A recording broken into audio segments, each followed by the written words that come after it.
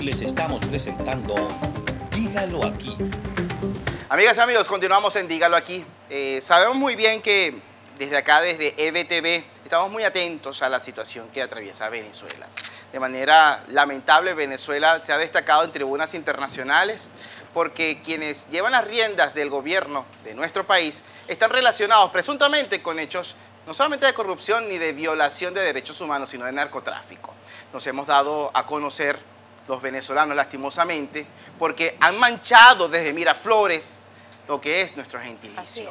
Le han dicho, eh, se han revelado a través de investigaciones periodísticas muy profundas todo lo que es el entramado que viene funcionando desde hace tiempo, desde que estaba Hugo Chávez Frías en el poder y que poco a poco a través de la incorporación de militares en lo que es el poder como tal, se ha venido gestando una pugna interna entre quienes llevan las riendas de este narco negocio en todo el hemisferio.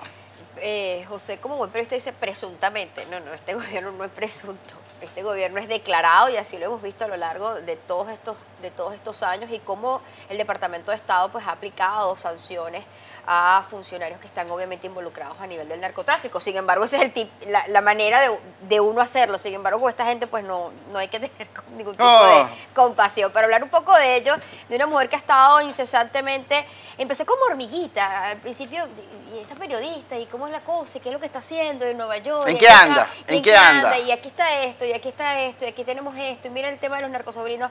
Y ha hecho de su blog pues una referencia importante, eh, se ha convertido en una referencia no solamente para los venezolanos, sino eh, para todo lo que es la parte hispana en función de el tema, no solamente los narcosobrinos, sino todos los entramados de corrupción que el régimen le encanta de alguna manera manejar acá en los Estados Unidos y en Maybor Betis. Gracias por acompañarnos, Maybor. Bienvenida. Es un placer de verdad estar aquí con ustedes y compartir un poco de información, no solamente del libro, sino también del blog que está... Lo mejor de último. dijo ahí el, libro, que vamos a hablar de ello porque tenemos bastante rato para conversar justamente, pero hablábamos justamente de ese trabajo de hormiguita.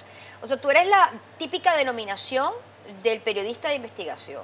Ese que trabaja calladito, que nadie sabe lo que está haciendo, que poco a poco va recabando, buscando, investigando, hasta tener ya eh, eh, la hilación de la situación y ahora sí decir, bueno, esto es lo que está ocurriendo y se lo estoy presentando no porque a mí me dijeron, me parece, lo escuché por ahí, bajaron los ángeles, no, sino que hay papeles y hay documentación. Creo que el primer punto a explotar así fue el tema de los, de los narcosobrinos, Maybor. Bueno, había trabajado otros temas, el de Francisco y Yaramendi, con el caso de los bonos de las pensiones de PDVSA, eh, y bueno, en general mm, yo me dedicaba al, mundo de la, politología y de la investigación, eh, más que al periodismo diario, eso lo hice en Venezuela cuando era reportera, pero eh, Estados Unidos me brindó otras oportunidades y empecé a trabajar en lo que es el sistema de cortes, la justicia criminal y es ah, absolutamente apasionante cuando uno entra y descubre tantos elementos y aquí hay muchísima oportunidad para la investigación, motivado entre otras cosas a que si tú no tienes la información, tú la puedes pedir y ellos hacen la, desclasificación de la información. Claro, tienes que conocer todos los mecanismos legales y son un poco rigurosos, a veces fastidiosos,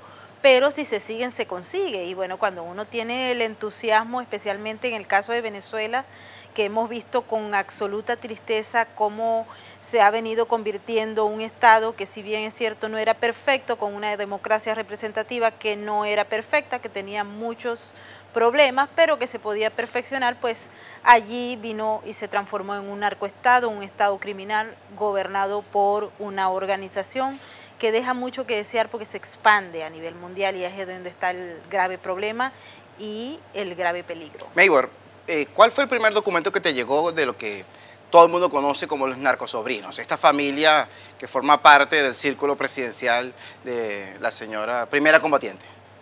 Bueno, lo primero que me llegó no fue un documento, sino fue una información sobre eh, una fuente que nos pasó el dato que habían unos sujetos que definitivamente pues estaban relacionados con una pareja presidencial y que habían cometido un delito de narcotráfico. Estos dos personajes eran absolutamente desconocidos.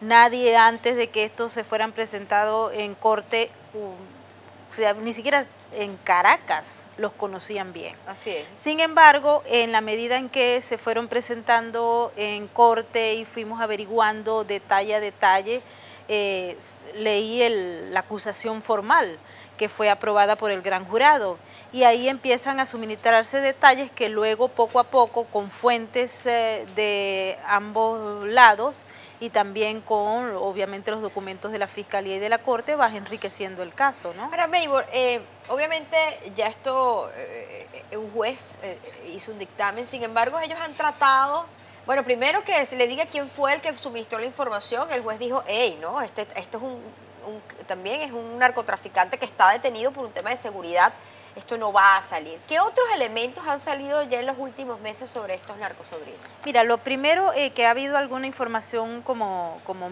medio desligada del caso es que una vez que se produce la sentencia, la defensa solicita a la Corte del Segundo Distrito, que es la Corte de Apelaciones, una revisión del caso. Es decir, ellos apelan la decisión del juez, Paul Croti.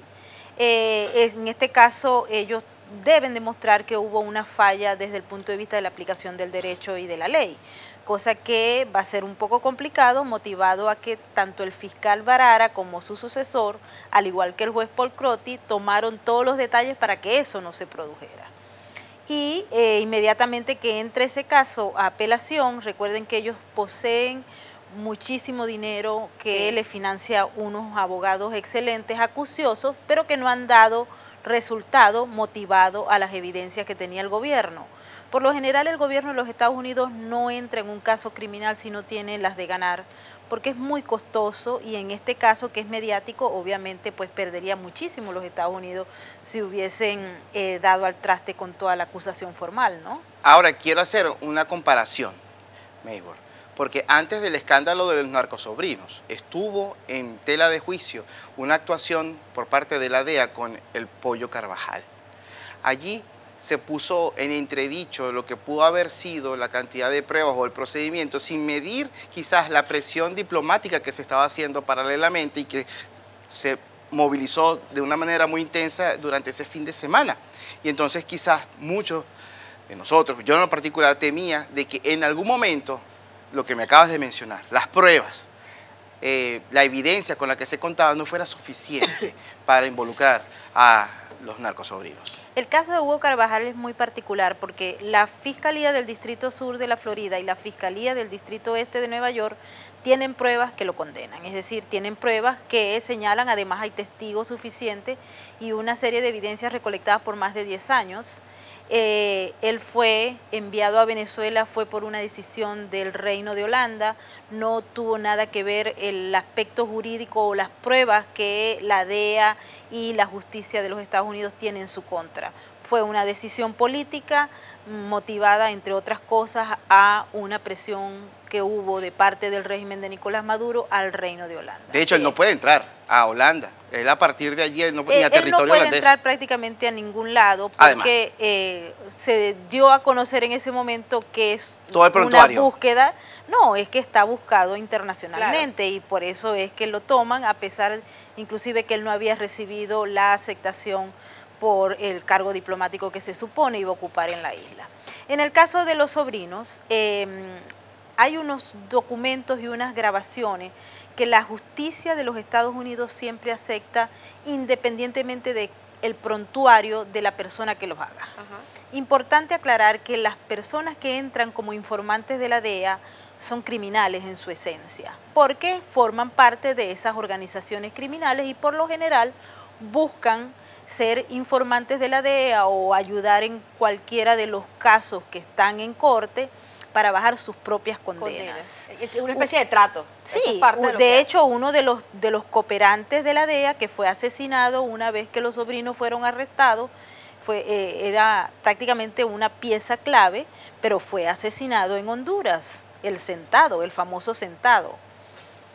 Eh, no sabemos todavía, eh, no hubo conclusión, no se realizaron las investigaciones de rigor en esa materia, pero estos otros dos sujetos, que son los eh, informantes de la DEA, a los que los sobrinos están pidiendo, que se les autorice entrar al expediente del Ministerio de Justicia, de la o sea, prácticamente ellos quieren saber ¿Quieren cuáles son los elementos. ¿Quiénes son esas personas? No, no, ellos conocen muy bien. Lo que quieren es, estos señores cometieron una serie de delitos y están en vías de sentencia. Y los sobrinos solicitaron entrar y revisar los documentos, es decir, el dossier de esta persona, que se llama, eh, él, él fue uno de prácticamente de los mm, informantes principales de la DEA y el que logra grabar eh, en video y en audio a los sobrinos en prácticamente casi todas las reuniones. Y esa fue la persona que los entregó en Haití. De allí el interés que ellos tienen. En, durante el juicio la defensa trató de que la corte prácticamente eliminara ese testigo, pero no lo lograron. Esa fue la pelea principal. Eh, eh, esa fue la idea, esa fue la estrategia de la defensa, pero no lo logró. Y ahora pues pretenden eh, nuevamente, están en escena de hecho, y, pero el juez de la causa ha negado toda posibilidad de entrar al dossier para lograr algunos elementos que ellos requieren para la segunda instancia. Vamos a hacer pausa y hablamos un poco de ese proceso que está pendiente, eh, de esa apelación, qué tantas posibilidades según lo que tú conoces y como tú decías, el, Estado norteamericano no va a entrar en una, situación como esta sin tener realmente elementos de convicción importantes. Sin embargo, qué tantas posibilidades pudieran tener estos eh, narcos sobrinos en esta otra instancia que están buscando a nivel de apelaciones. Hacemos pausa, ya venimos con más. Estamos conversando con Maybor Petit, estamos hablando de todo, cómo va ese entramado del narcotráfico. Entraremos en el tema de corrupción y ese libro que también acaba de presentar esta periodista de investigación. Ya venimos con más.